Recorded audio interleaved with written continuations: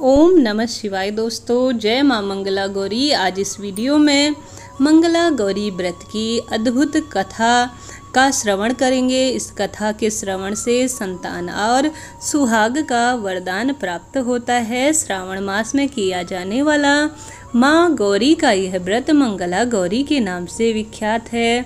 यह व्रत महिलाएँ अपने पति की लंबी उम्र के लिए करती हैं। साथ ही इस व्रत की कथा इस प्रकार है। एक बार की बात है। एक शहर में धर्मपाल नाम का एक व्यापारी रहता था। उसकी पत्नी काफ़ी गुणवान और खूबसूरत थी और उसके पास काफ़ी संपत्ति थी, लेकिन उसमें यह उसके जीवन में दुख था कि उसकी कोई संतान नहीं थी। संतान न होने के कारण वह काफ़ी दुखी रहते थे। ईश्वर की कृपा से उसको एक पुत्र की भी प्राप्ति हुई, लेकिन वह पुत्र अल्पायु था। उसे यह श्राप मिला था कि वह सोलह वर्ष की उम्र में सर्प के काटने से उसकी मृत्यु हो जाएगी। संयोग से उसकी शादी सोलह वर्ष से पहले ही एक युवती से हुई। जिसकी माता मंगला, जिस जो वह युवती थी, जो माता मंगला गौरी की भक्त थी और माता मंगला गौरी का व्रत किया करती थी।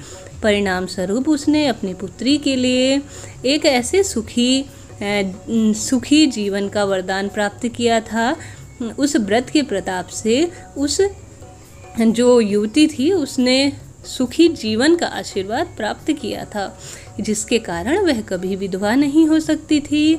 इस वजह से धर्मपाल के पुत्र ने सौ साल की आयु प्राप्त की। इसी कारण से सभी नवविवाहिता महिलाएँ इस व्रत को करती हैं, पूजा करती हैं तथा महागौरी से व्रत का, जो भी इस व्रत का पालन करते हैं, उस वह अपने जीवन में लंबी तथा वैवाहिक सुखी जीवन की कामना करती हैं, जो महिलाएँ उपवास का पालन नहीं करती। वह कम से कम इस दिन पूजा अवश्य करती हैं।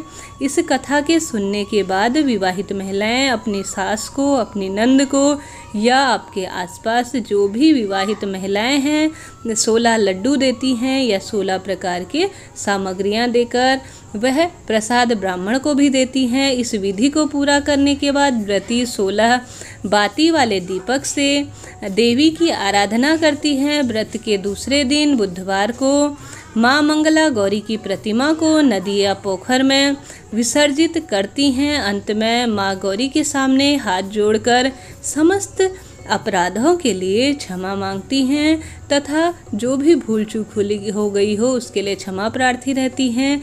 इस व्रत को और इस पूजा को करने से परिवार में लगातार खुशियाँ बनी रहती हैं। शास्त्रों के अनुसार यह मंगला गौरी व्रत नियमानुसार करने से प्रत्येक व्यक्ति को वैवाहिक सुख में बढ़ोतरी होती है तथा पुत्र, पौत्र आदि भी अपने जीवन सुख पर्व का सुखपूर्वक बिताते हैं। इस व्रत की अद्भुत महिमा है।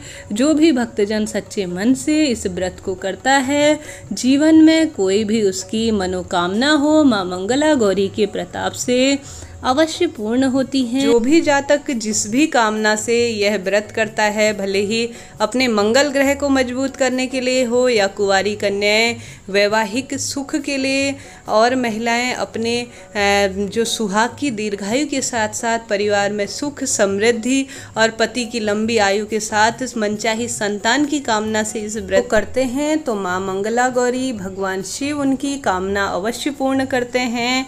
और साथ ही कुछ ना कुछ इस दिन दान, धर्म, पुण्य की कामना अवश्य करनी चाहिए। जो आपसे बन पड़े दान इत्यादि पूजन के दिन ज़रूर करें। वीडियो आपके लिए यूजल रहा हो तो चैनल को लाइक शेयर और सब्सक्राइब ज़रूर करें।